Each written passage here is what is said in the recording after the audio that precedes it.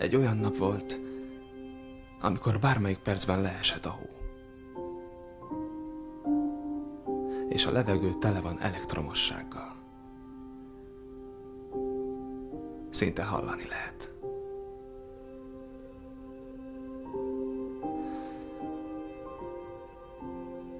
És ez az acskó csak táncolt velem. Mint egy kisgyerek, ha könyörök, hogy játsz vele.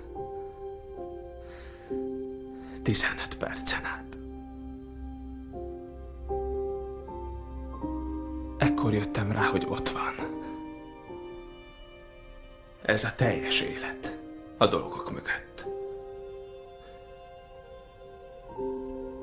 És ez a hihetetlenül jótékony erő, mely azt akarja, hogy tudjam, nincs okon félni.